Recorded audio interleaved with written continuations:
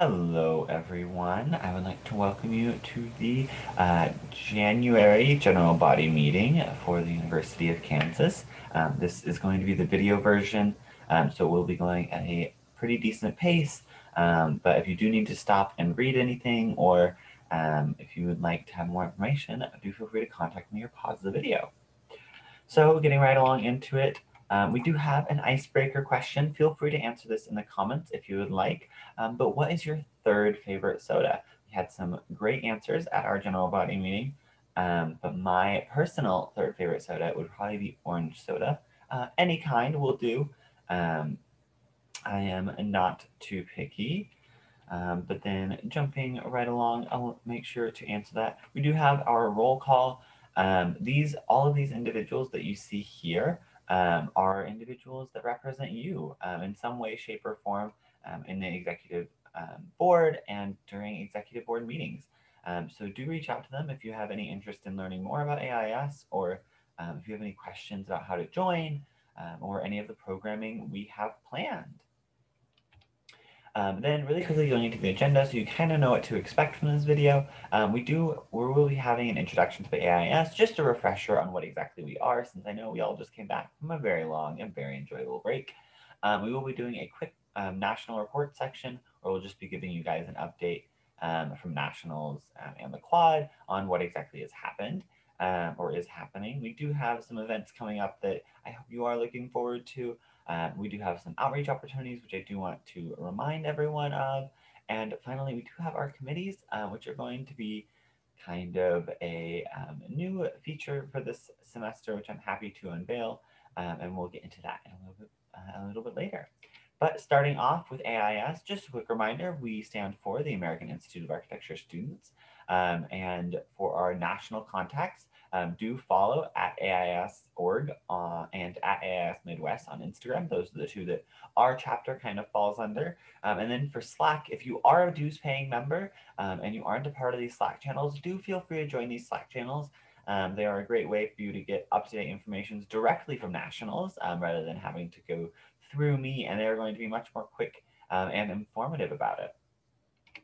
Um, so about AIAS, just really quickly reminding you what exactly we stand for and what exactly we are. Um, we are, our vision is to empower the voices, ideas, and actions for the future. Uh, our mission is to advance leadership, design, and service among students. Um, our scale is uh, pretty large with an international scale um, with more than 150 chapters ranging from China, Germany, Central America, uh, the Middle East, and of course, uh, North America. Those North American chapters um, are split into the Northeast, West, South, and the best one, Midwest quads, uh, of which we belong.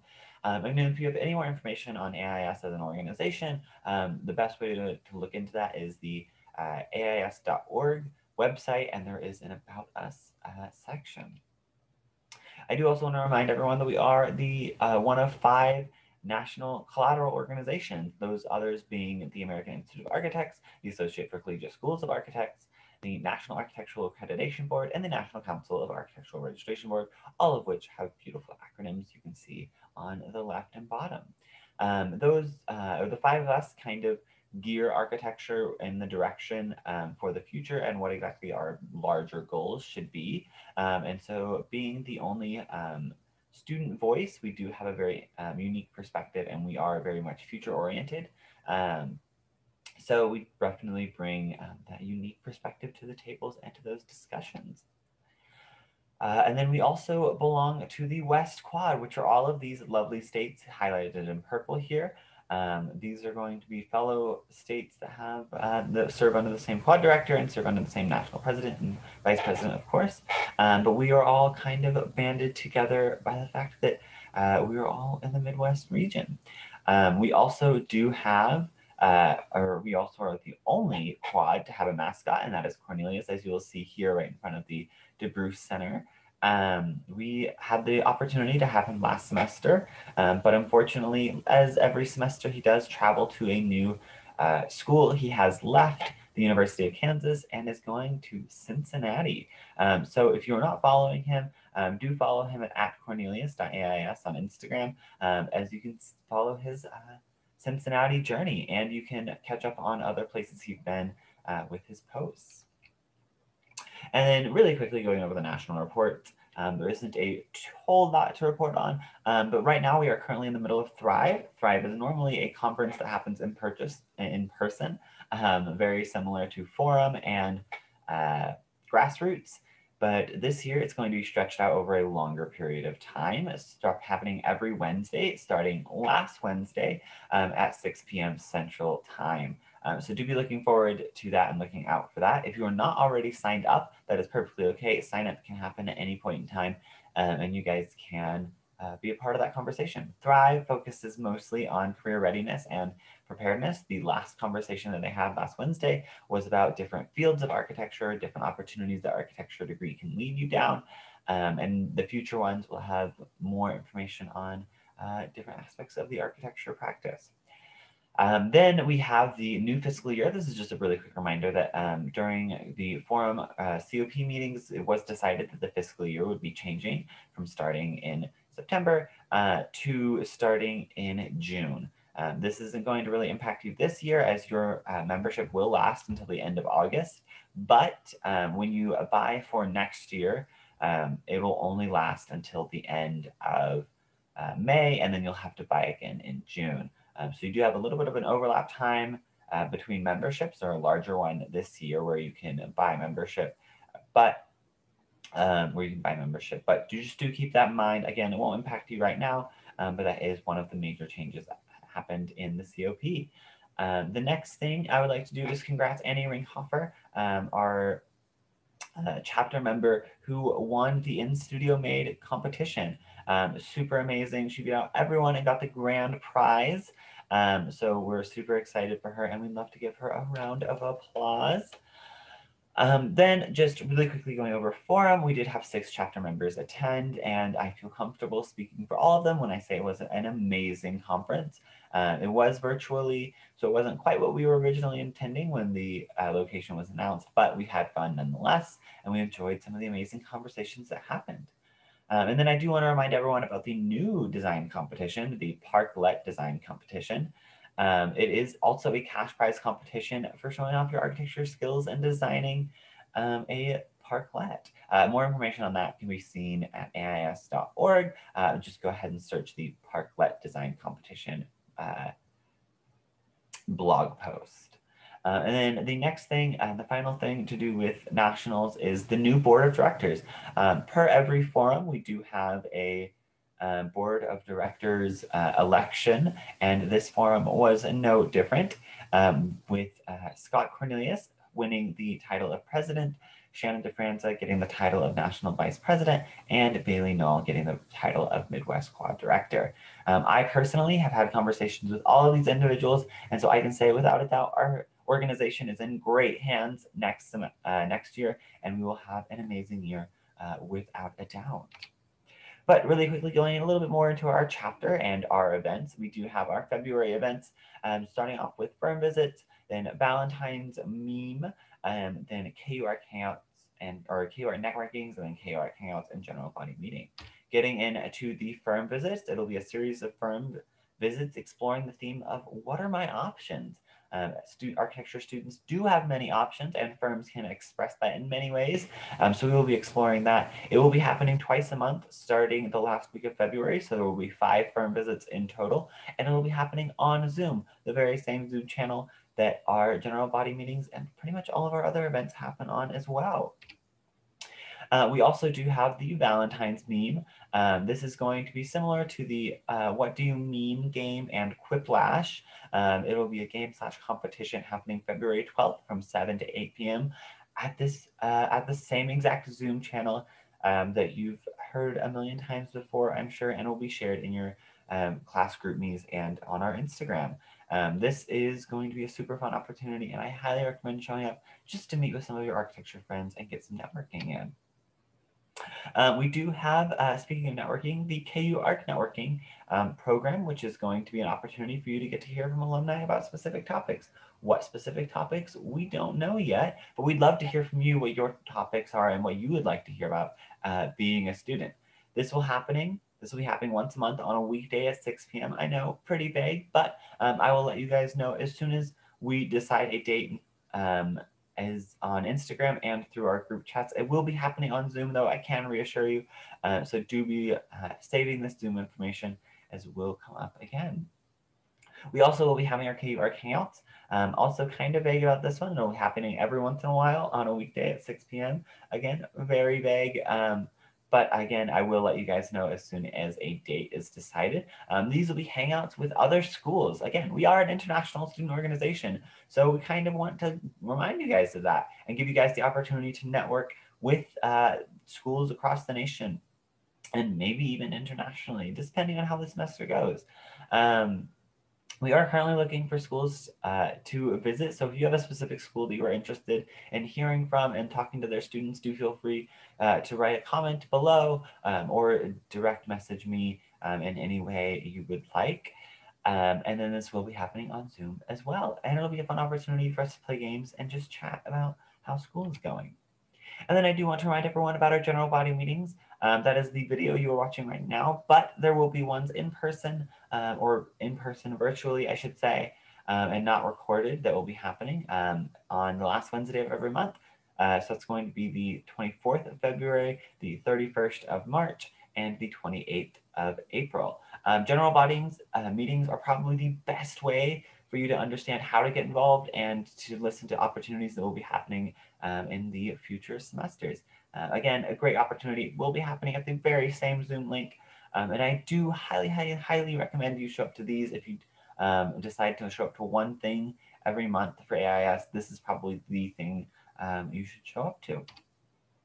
Um, then really briefly going over outreach, um, faculty highlights will be continuing. Um, this is just our program from last semester that highlights our faculty members and some of the amazing work that they've done um, and kind of gets to, uh, lets you get to know them even if you haven't taken them or had them um, as a professor yet. Then we will be continuing the Student Shoutout Initiative, which I hope you all enjoyed and gave a thumbs up on Instagram. This is just our opportunity to shout out some of the amazing students we have in our chapter and in our school. Uh, you do not have to be a chapter member to get shouted out. Um, but this is just our opportunity to kind of recognize that we do have some amazing uh, people within our school. Uh, then going over into Instagram, if you are not following our Instagram, this is probably one of the best ways to hear about information um, in between general body meetings um, and get to hear what exactly we're doing and see some of our um, other outreach initiatives. And then we do have our YouTube channel. That is probably where you're watching this right now. Um, this will be where we have all of our recorded sessions that are informative and that we feel uh, need to be on the YouTube channel and um, develop kind of a library of materials. So then going on to committees, this is something that is very um, new this semester um, and is going to be very unique, but I hope uh, you decide to get involved with at least one of them. Um, there are the Freedom by Design Committee, the Creators Ball Committee, the Calendar Committee, and the Advocacy Committee. Um, going in right away, Freedom by Design is um, finding ways to help the community. It's a very simple goal, but um, it's fun nonetheless. Um, there will be uh, Marvelous Mondays happening every Monday, uh, sharing information uh, about architecture school and giving you a lovely little um, pieces of joy to start off your week. Um, this is also a great way to make friends and uh, serve the community, as I've already stated. Um, it's super fun, um, and they are right now looking at partnering with the Lawrence Community Shelter um, just to help them out in any ways, since community shelters are uh, oftentimes hurt the most with pandemics and um, issues like this. Uh, if you are interested in joining any of these committees, um, the QR code you do see below is a great way to let us know. Um, it's just a quick form uh, to give us your contact info so that we know and uh, to tell us which committee you are interested in joining um, so that we know to add you to those conversations. Then we have Creators Ball. Um, the theme for this is going to be the upside, upside down masquerade, kind of a play with the mask for COVID.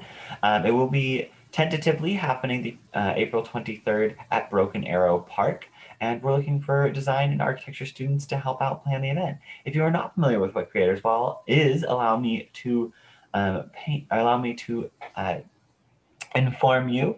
Um, Creators Ball is our annual um, kind of gala event to show off students' work and get students together to celebrate a successful year. Um, normally, it does happen in person at a venue, but this year, due to COVID, we are hoping to still have it in person, but at a um, park instead uh, with food trucks and a, a, bunch of amazing opportunities. However, um, we are still waiting for the final approval from KU to allow it to happen. So even if you uh, it doesn't happen, though, we will find programming to kind of highlight some of our students' work um, throughout this semester. And so if you do decide to join Creators Ball, um, you will still be helping in some way, shape, or form, just spreading a little bit of recognition for the students. Then we do have our calendar committee. Um, this is going to be designing the AIAS uh, KU 2022 strip calendars. Um, for those of you that aren't aware what the strip calendars are, they are about they are long, thin calendars, about three inches wide and about three feet long um, that were originally designed to go on the edge of drafting tables, uh, but since then have kind of uh, been used to put up in cubicles, um, put up on columns in houses, um, or just to be put up around the house. Um, we do have quite the following for them, uh, but this year is the 50th anniversary, so we kind of want to shout it from the rooftops. Um, and we want to do something particularly special. So this committee is a great way for you to kind of stretch out your design and business legs and um, get into uh, that practice uh, of designing and running a business. Uh, the main charges we are is to redesign the calendar for the 50th anniversary and develop marketing materials so that once we do start selling it, um, it uh, is uh, all prepped and ready for next year's uh, committee. Um, then we also are looking into, hopefully, assuming everything goes to plan and COVID doesn't prevent us, maybe doing a tour of Mainline Printing's facility. Um, this is a super cool facility. I had the honor of um, touring it myself last semester, and I can reassure you it is definitely worth um, the committee involvement and uh, getting involved. Our final thing and the one brand new for this semester is um, advocacy. Um, this is going to be kind of focusing on topics of sustainability, equity, and health with programming happening every month with one of those topics. Um, it is, uh, like I said, starting this semester. So being a part of this committee, you do definitely kind of decide how this shapes up for future um, years and how exactly this uh, committee functions and operates. Um, definitely giving you a lot of planning um, practice and organization uh, skills and leadership skills, definitely. Um, it is going to be doing programming um, that varies throughout the months depending on the topics. Um, but if you are interested in here uh, in spreading students' voice and empowering students, um, do definitely scan the QR code and mark them as interested, as that you are interested. And finally, um, we do have our town hall section. Um, while I can't receive or answer questions uh, immediately in person or over the Zoom channel, um, I do encourage you that if you do have any questions, do contact me at, at aiskupresident at gmail.com. Um, and if you are interested in joining, if I've thoroughly sold AIAS to you, um, do feel free to join um, AIAS.org. Um, just in the top right hand corner, you'll see a join tab and you can go ahead and join. It is um, currently kind of on a sale right now um, because you do have uh, less time that you are able to use under this uh, year's membership. And then our social media, just a quick reminder, is at KU underscore AIAS for Instagram and AIAS University of Kansas for YouTube. Um, if you are interested in any of these committees, I have the uh, QR code right here. And if you are first year wanting to, to, grow your leadership opportunities, do feel free to fill out the first year rep form uh, on the right. But that concludes our general body meeting for January. Do be looking out for the February general body meeting and all of the amazing programming I listed um, in this previous slides uh, and check out Instagram to keep updated with all of that. But for now, that ends this general body meeting. You all have a wonderful semester.